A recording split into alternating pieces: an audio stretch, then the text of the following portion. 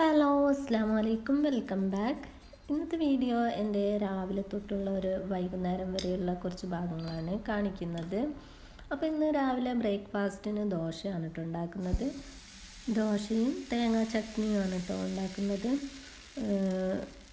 ഞങ്ങൾക്ക് ഇഷ്ടം കൂടുതലും ഇഷ്ടം ഈ തക്കാളി ചട്നിയാണ്. അപ്പോൾ ഇന്ന് ഞാൻ തക്കാളി ചട്നി ഉണ്ടാക്കാമെന്ന് വിചാരിച്ചതായിരുന്നു.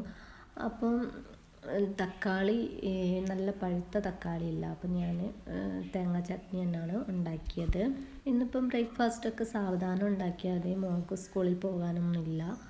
അപ്പം ഞാൻ ഇന്ന് രാവിലെ കുറച്ച് ഉറങ്ങിയതിനൊക്കെ ശേഷമാണ് കേട്ടോ എന്ന് എഴുന്നേറ്റത്.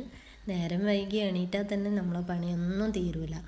അപ്പോൾ നേരം വൈകി എന്താ പറയുക സ്കൂളിലെ ദിവസം കുറേ ഉറങ്ങാൻ പറ്റില്ല അപ്പോൾ ശനി ഞായറിലും കുറച്ച് സുബിയൊക്കെ നിസ്കരിച്ചതിന് ശേഷം ഒന്നുകൂടെ കിടന്നുറങ്ങും ഞാൻ അപ്പം ബ്രേക്ക്ഫാസ്റ്റ് ഒക്കെ കഴിച്ചതിന് ശേഷം ഞാൻ ഒന്ന് പുറത്ത് പോയിട്ട് കുറച്ച് പച്ചക്കറികളൊക്കെ ഒന്ന് വാങ്ങിക്കാനുണ്ടായിരുന്നു. അപ്പോൾ പച്ചക്കറിയൊക്കെ വാങ്ങി വന്നതാണ് ഞാൻ അപ്പോൾ എല്ലാം ഓരോന്നും ഓരോ സ്ഥലത്ത് എടുത്ത് വെക്കണമല്ലോ അപ്പം ഞാൻ ഉള്ളിയൊക്കെ ഇങ്ങനെ ഫ്രിഡ്ജിൽ വെക്കാറില്ല കേട്ടോ ഉള്ളി ഇങ്ങനെ ഒരു തട്ടിൽ വെച്ചിട്ട് പുറത്ത് തന്നെ വെക്കാറാണ്. ബാക്കിയുള്ള ഞാൻ ഇങ്ങനെ ഓരോന്നും ഓരോ കവറിലാക്കിയിട്ട് കെട്ടിയിട്ട് ഫ്രിഡ്ജിൽ വെക്കാറാണ് കേട്ടോ ഇങ്ങനെ വെക്കാകുമ്പോൾ നമുക്കൊരു പത്ത് ദിവസം പോലും ഇതിങ്ങനെ കേട് വരാതെ തന്നെ നിൽക്കും കേട്ടോ ക്യാരറ്റ് കക്കിരിയൊക്കെ ഇങ്ങനെ തന്നെ കവറിൽ കെട്ടി വെക്കുകയാണെങ്കിൽ കുറേ ദിവസം കേടുകൂടാതെ തന്നെ നിൽക്കും അപ്പോൾ ഞങ്ങൾ ഡെയിലി ഒന്നും പച്ചക്കറി വെക്കില്ല കേട്ടോ അധിക ദിവസം വെക്കും. പക്ഷേ ഇടയ്ക്ക് രണ്ട് ദിവസമൊക്കെ മീൻ കറി അങ്ങനെ എരിവുള്ള കറിയൊക്കെ വെക്കാനാണ് കഴിക്കാനാണ് എനിക്കിഷ്ടം. അന്നപ്പോൾ ഞാൻ എന്റെ ടേസ്റ്റിന് ഉണ്ടാക്കും. ഇവിടെ മോക്ക് പച്ചക്കറി തന്നെ വേണം. അവൾക്ക് എരിവുള്ള കറിയൊന്നും ഇഷ്ടമല്ല അപ്പോൾ ഞാനും അമ്മായിയും എന്താണ് എരിവ് ഇഷ്ടപ്പെടുന്ന ആളാണ്. അപ്പോൾ ഡെയിലി പച്ചക്കറി ഉണ്ടാക്കുമ്പോൾ ഇടയ്ക്ക് രണ്ട് ദിവസമൊക്കെ എരിവുള്ള കറിയും വെക്കും. അപ്പോൾ ഇതാ പച്ചമുളകൊക്കെ ഞാൻ ഈ ഒരു പാത്രത്തിൽ ഇങ്ങനെ ഞെട്ടിയൊക്കെ മാറ്റി ഇട്ട് വെക്കാറാണ് കേട്ടോ പതിവ്. ഞങ്ങൾക്ക് ഒരു ഒരാഴ്ചത്തേക്കുള്ളൊക്കെ ഒരു പച്ചമുളകാണ് കേട്ടോ അത് ഒരു ഇരുന്നൂറൊക്കെയാണ് ഞാൻ വാങ്ങിക്കുക അത് ഒരാഴ്ചത്തേക്ക് റെഡി ആയിരിക്കും കേട്ടോ പിന്നെ ഒരാഴ്ച കഴിഞ്ഞതിന് ശേഷമാണ് ഞാൻ പിന്നെ പച്ചക്കറി വാങ്ങിക്കാനായിട്ട് പോവുക കേട്ടോ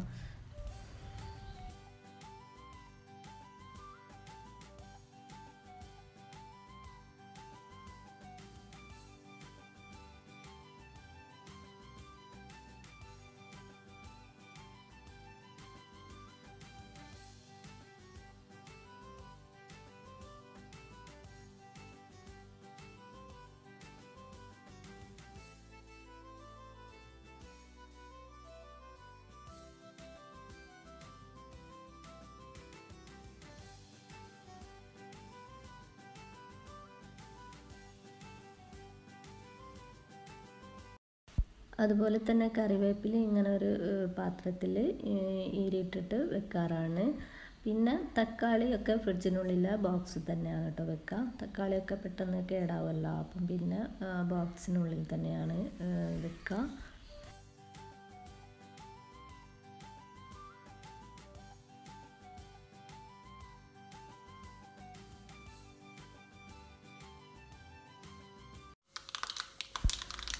അപ്പം ഇന്ന് ഉച്ചത്തേക്ക് പിന്നെ ചെറുങ്ങ താളിച്ചതാണ്. കേട്ടോ ചോറിന് കറി ഉണ്ടാക്കിയത് അത് മോൾക്ക് വലിയ ഇഷ്ടമാണ് അപ്പോൾ ചെറുങ്ങ ഇങ്ങനെ താളിച്ചിട്ട് ചെറിയ ഉള്ളിയൊക്കെ ഇട്ട് വറവിട്ടാൽ നല്ല ടേസ്റ്റാണ്.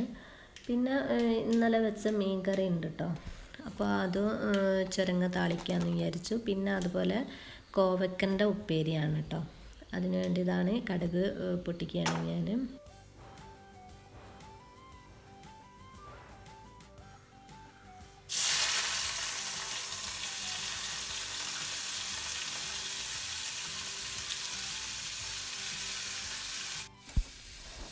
കോവക്ക ഞാൻ കട്ട് ചെയ്ത് വെച്ചാൽ കുറച്ച് ചെറിയുള്ളി അരിഞ്ഞ് ചേർത്തിട്ടുണ്ട്. അതുപോലെ തന്നെ രണ്ട് പച്ചമുളകും കട്ട് ചെയ്ത് ചേർത്ത് ഇങ്ങനെ തന്നെയാണ് കേട്ടോ ഉണ്ടാക്കുന്നത്.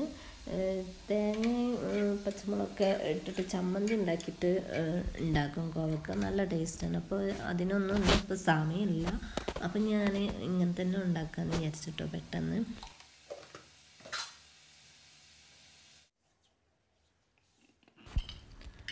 അപ്പോൾ ഞാൻ വൈകുന്നേരം അതിന്റെ ശേഷം പിസ്സ ഉണ്ടാക്കാമെന്ന് വിചാരിച്ചിട്ടാണ് കേട്ടോ കിച്ചണിലേക്ക് വന്നത്.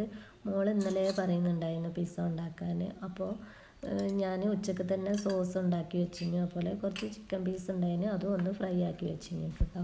അതുപോലെ പിസ്സക്കുള്ള മാവും അന്നേരം തന്നെ റെഡിയാക്കി വെച്ചിരുന്നു കേട്ടോ. പിന്നെ ഈ വീഡിയോ ഞാൻ എടുക്കാതിരുന്നത് എന്റെ വീഡിയോയിൽ ഞാൻ പിസ്സയുടെ ഒരു വീഡിയോ കുറച്ച് മുമ്പ് ഇട്ടിട്ടുണ്ടായിരുന്നു. അപ്പോൾ കാണാത്തവരുണ്ടെങ്കിൽ അത് പോയി കാണുക അതുകൊണ്ടാണ് കേട്ടോ ഞാൻ വീഡിയോ എടുക്കാഞ്ഞത്. അപ്പോൾ അതിലേക്ക് വേണ്ടിയിട്ടുള്ള ചീസ് ഞാൻ കട്ട് ചെയ്തെടുക്കുകയാണ് അപ്പോൾ ഇതൊരു ഇരുന്നൂറ് ഗ്രാമിന്റെ ചീസാണ് അപ്പോൾ ഞാൻ ഇതിന്റെ പകുതിയാണ് കേട്ടോ എടുക്കുന്നത്.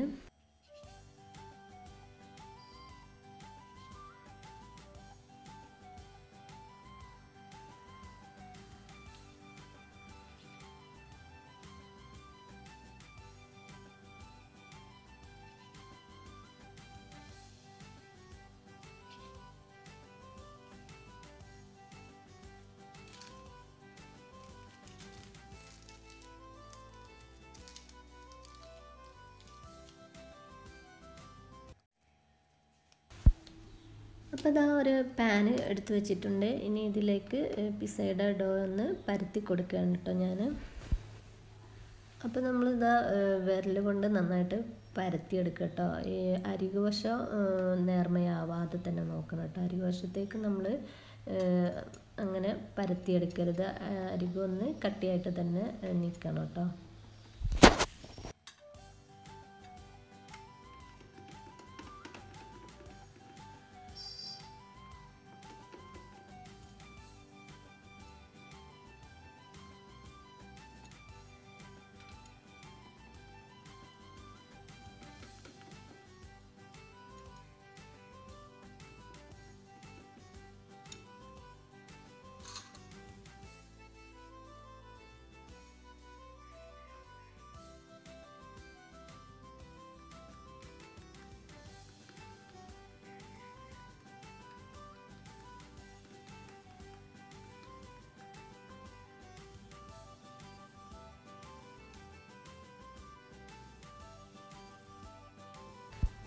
ഇനിയിപ്പോൾ ഇതാ സോസ് നന്നായിട്ട് തന്നെ തേച്ച് കൊടുക്കുക കേട്ടോ.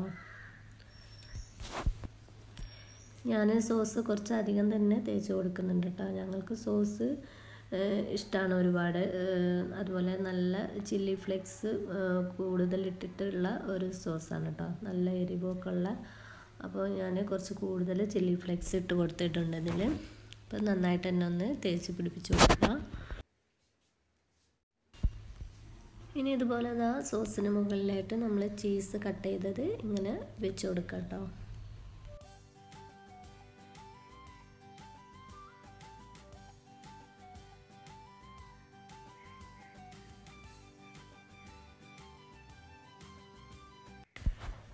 ഇനി ഇതിന് മുകളിലായിട്ട് നമ്മൾ ഫ്രൈ ചെയ്ത് വെച്ച ചിക്കൻ പീസ് ഇതിന്റെ മുകളിൽ ഇട്ട് കൊടുക്കാം കേട്ടോ ഇനി ഇതിന് മുകളിലായിട്ട് ചില്ലി ഫ്ലേക്സ് ഇട്ട് കൊടുക്കുക കേട്ടോ എന്നിട്ട് നമ്മൾ പിന്നെ ക്യാപ്സിക്കം ഉണ്ടല്ലോ റെഡും ഗ്രീനും ഉള്ളത് അപ്പോൾ അതൊന്ന് കട്ട് ചെയ്ത് വെച്ച് കൊടുക്കുന്നുണ്ട്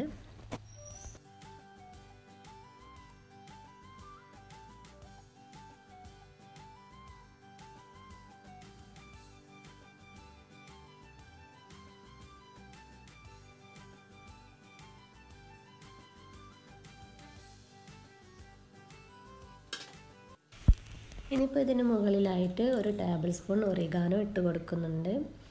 എന്നിട്ട് ശേഷം ഇനി ഇതൊന്ന് കുക്കാക്കി എടുക്കണം. അതിന് വേണ്ടി ഞാൻ ഗ്യാസിന്റെ മുകളിൽ ഒരു തട്ട് വെച്ചിട്ടുണ്ട്. അതിന്റെ മുകളിലേക്കാണ് കേട്ടോ പാൻ വെച്ചിട്ടുള്ളത്. എന്നിട്ട് ഒരു ഇരുപത് മിനിറ്റ് കുക്കാക്കി എടുക്കാം. അപ്പോൾ ഇതാ നമ്മുടെ പിസ്സ ഇവിടെ റെഡിയായി വന്നിട്ടുണ്ട്. നല്ല സൂപ്പർ പിസ്സയാണ് കേട്ടോ കഴിക്കാൻ നല്ല ടേസ്റ്റ് ഉണ്ടായിരുന്നു. നമ്മൾ ഇടയ്ക്കിടയ്ക്ക് ഇങ്ങനെ ഉണ്ടാക്കും കേട്ടോ പിസ്സ എന്റെ മോൾക്ക് വലിയ ഇഷ്ടമാണ് എനിക്കും അതുപോലെ തന്നെ. അപ്പോൾ നമ്മൾ ഇടയ്ക്കൊക്കെ ഇങ്ങനെ പിസ്സ ഉണ്ടാക്കി കഴിക്കാറുണ്ട് കേട്ടോ അപ്പോൾ ഇതാ ഇന്നത്തെ വീഡിയോ ഇത്രയേ ഉള്ളൂ. അപ്പോൾ നിങ്ങൾക്ക് ഈ വീഡിയോ കണ്ടിട്ട് ഇഷ്ടമാവുകയാണെങ്കിൽ ഒന്ന് ലൈക്ക് ചെയ്യാൻ മറക്കരുത്. അതുപോലെ തന്നെ നിങ്ങളുടെ അഭിപ്രായങ്ങളൊക്കെ ഒന്ന് കമന്റിലൂടെ അറിയിക്കുക. അതുപോലെ ഇതുവരെ സബ്സ്ക്രൈബ് ചെയ്യാത്തവരുണ്ടെങ്കിൽ ഒന്ന് സബ്സ്ക്രൈബ് ചെയ്ത് സപ്പോർട്ട് ചെയ്യാം കേട്ടോ വീണ്ടും അടുത്ത വീഡിയോയിൽ കാണാം. അതുവരേക്കും ബ ബായ്